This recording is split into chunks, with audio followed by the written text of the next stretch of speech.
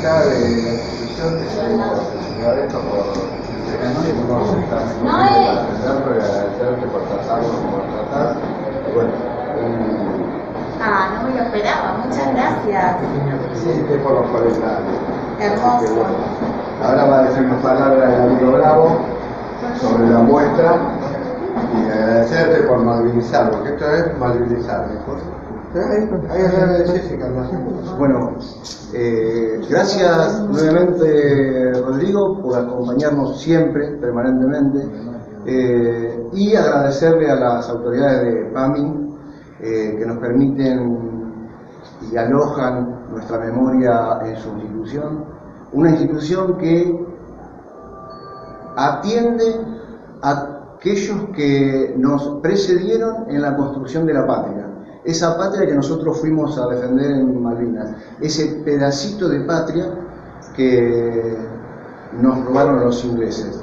Eh, gracias por lo que hacen en función de los adultos mayores que, como dije antes, nos precedieron en la construcción de esta hermosa patria. Y ahora que con el mismo entusiasmo, con la misma voluntad, nos atienden a nosotros, que ya estamos en el umbral de, de- la vejez, de- doblando la curva final de la vida, y encontramos en ustedes personas que nos contienen, nos curan y siempre tienen las puertas abiertas ante nuestras necesidades. Así que muchísimas gracias eh, Jessica y en tu nombre a todos los eh,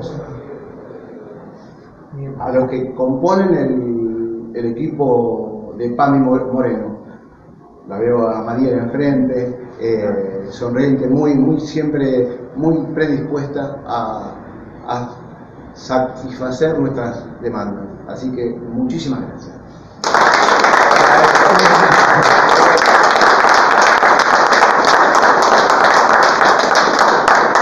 No, de mi parte nada, quería agradecer, eh, bueno, las puertas de la institución la tienen abiertas cuando quieran, pero también agradecer porque sé que esta fecha es muy conmovedora y más por los 40 años que, que se cumplieron. Eh, nada, y agradecer también el trabajo que ustedes vienen haciendo militante de poder reconstruir la memoria año tras año eh, para que no nos gane la injusticia. Así que nada, las puertas de PAMI están abiertas. También agradecer a los trabajadores y las trabajadoras de la institución que siempre están con buena predisposición para poder solucionar los problemas. Eh, y nada, sigamos construyendo su sueño, que también es el del Museo de Malvinas, que pueda tener sus cuatro paredes y que lo puedan instalar. Así que nada, vamos a trabajar en conjunto para eso.